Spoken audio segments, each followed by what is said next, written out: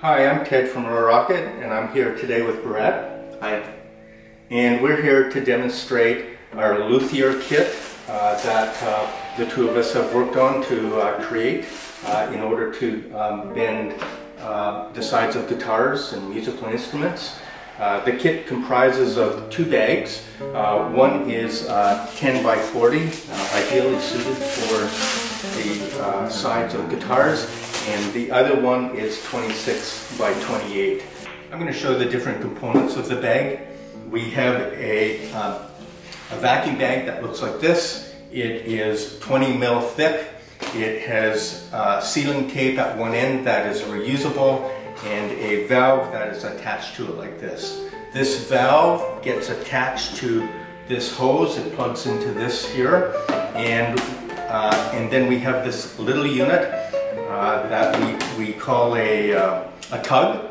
And the idea is the hand pump fits on top. Uh, this is a one-way valve, so once we pull the air out of the bag, uh, this, uh, it's completely sealed.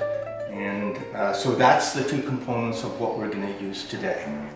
So um, I talked to Ted about creating a set of vacuum bags that we could use to laminate guitar sides um, for me, um, I started laminating guitar sides a number of years ago because it was a lot easier to thin the veneer that was going to go on the outside and then bend it and then laminate it to a, a stable substrate.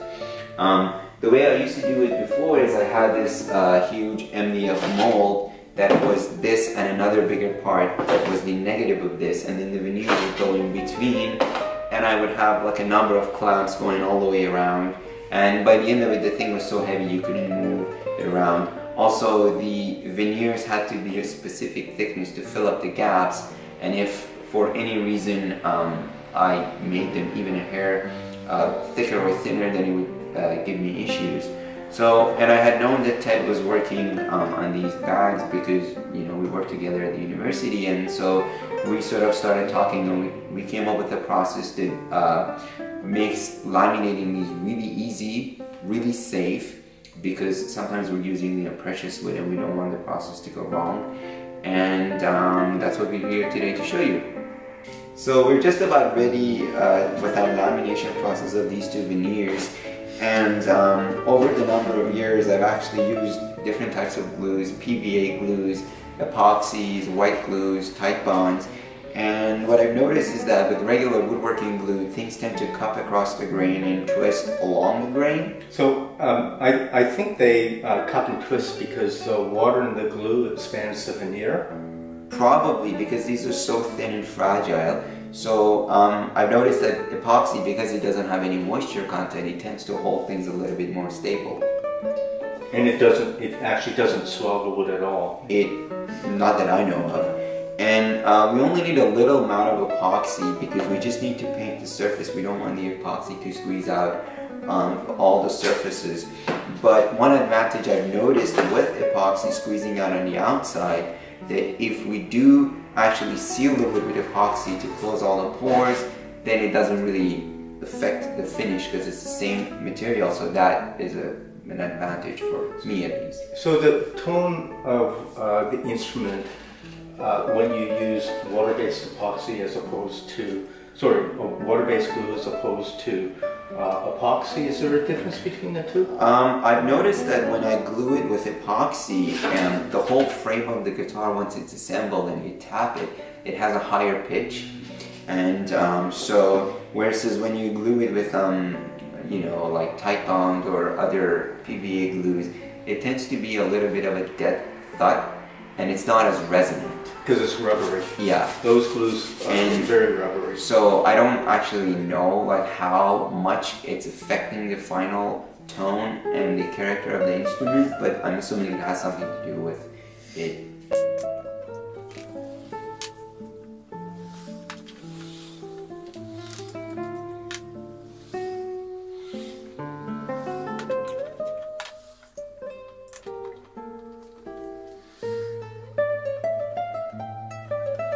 So we're using this um, squeegee razor blade because it's the best way to apply as thin amount of epoxy as possible. And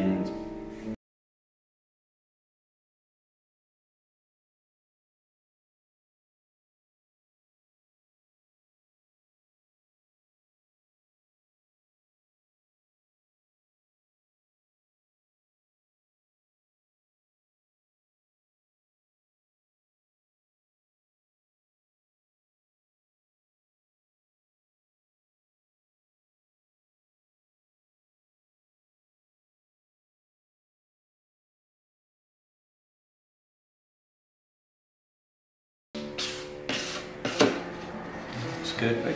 Yeah. So now.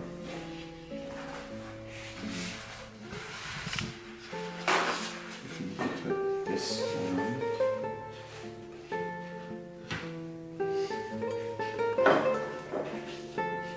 And at this stage, everything is slightly oversized, both in width and length, so that I'm not really worried about alignment of things as much, although I would like it to be good as I can get it. And um, just because these veneers are really thin and they tend to sort of be wavy, we'll use um, these pieces of styrene um, to support the grain on either side and they add a little bit of stiffness to the whole uh, sort of lamination process but also they prevent the veneers to get glued to the bag just in case there is you know, excess epoxy squeeze out. Yeah, the, the epoxy actually won't uh, stick to the bag, but it's really good to have a separator. These look to be about a 16th of an inch thick. Yeah. So um, now I'll typically take these and take it around only on one side because I don't want to take it on the end and end up with a little bit of gap because the veneer couldn't sort of pulling. So I'll only tape it around this area and that so far that it's worked for me. Um, so the, the two layers of veneer actually have to slide on one another and if we tape the ends that prevents that from happening. So we only tape it in the middle. So we just want to make sure we have enough on this side that looks good to me. So Ted if you could please just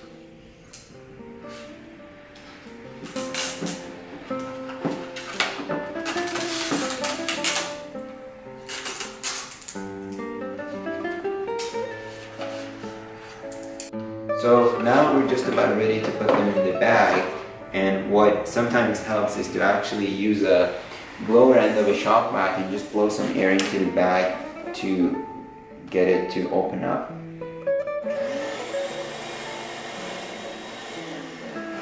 Now, because the bag sometimes could stick to itself, so then we'll just take the whole piece and we want to be really careful not to get any epoxy um, on the tape and the other side of the sealing surface.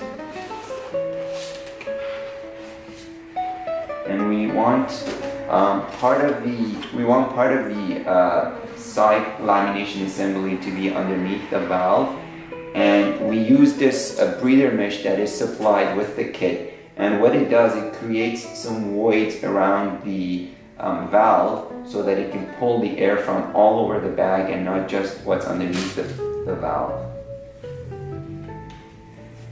And so that goes on like that. And we're ready to create the seal.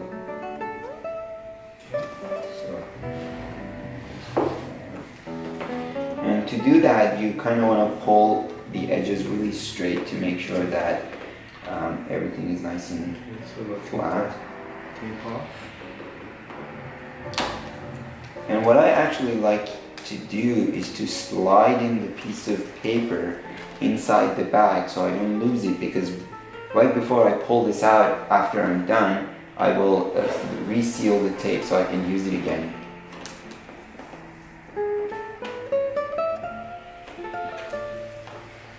You want to push down nice and tight and make sure it's all good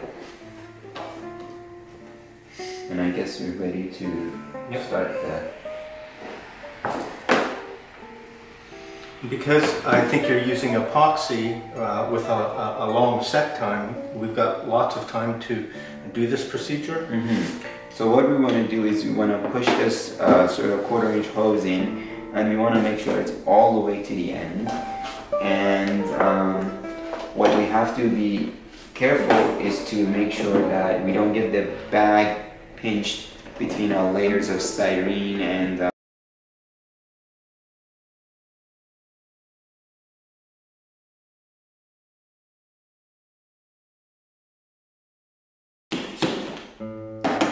just stopping between to center things up to make sure that things are looking the way I want them to be. And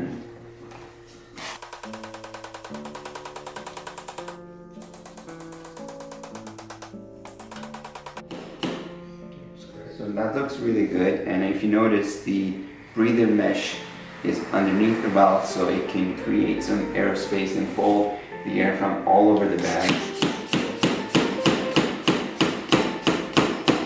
You can actually see the epoxy seeping out the edges. Yeah, and you can see that you're getting a perfect seam.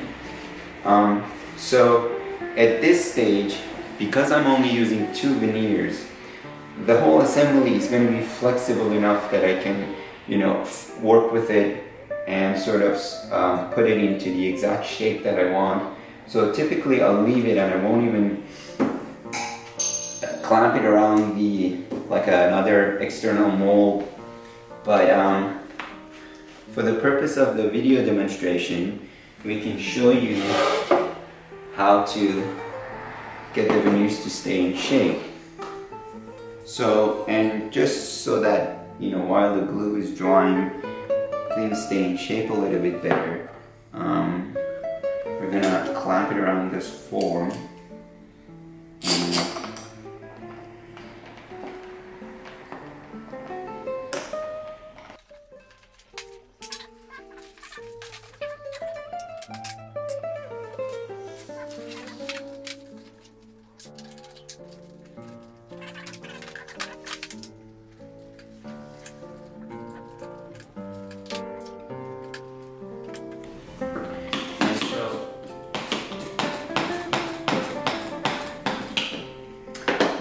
idea to keep an eye on this for the first you know, 20 minutes to half an hour. Um, when sometimes you use porous woods, especially with like wenge that have deep pores in the wood, there's a lot of air that could be trapped in there, and um, it may seem like the vacuum bag is not actually holding the seal, but it is. It's just that there's more air into the little voids of the wood. So for you know first half an hour, uh, once in a while I'll come back and just pump it a little bit. But um, this is pretty much six clamps, and I already have everything perfectly sealed up in the bag. That looks really great. This is if it's going to get the job done, no problem. So once I'm happy with my uh, seal and my clamping method, I can actually uh, take this off and go to a different bag and um, laminate a second set of sides. And to do that, I'll just um, pinch the tube with a little bit of spring clamp and then I can just take this out and move on to another bag and use the same system again. It's really great. Uh, Behrad, thank you for coming in today. Hey, thank you so much. Yeah, this Great is, this is great working See together. process, and Yeah, looks like uh, it'll be great to see what it's like when it's all done. yeah. Thank you.